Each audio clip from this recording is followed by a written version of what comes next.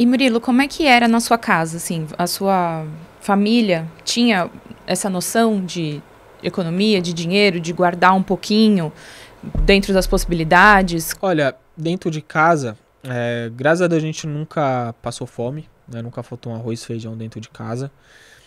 É, só que assim, cresci vendo que, de alguma maneira, que a única coisa que a gente poderia conquistar na vida era através de empréstimo. Através de um financiamento, cartão de crédito ou algo do tipo. Né? E, e sobre guardar dinheiro, a família nunca teve o costume.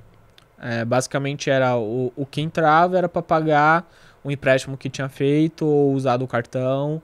Eu lembro que a primeira vez que eu juntei 10 mil reais, tipo assim, eu juntei 10 mil reais, tipo, era uma grande vitória. Aí quando eu cheguei, eu falei, tá, agora mais 10, vamos para 20. Né, depois 40, e eu fui, fui crescendo aos poucos. E sempre trabalhando a questão da, da paciência. É, e eu, eu sei que é difícil pro brasileiro como todo ter essa questão da, da paciência.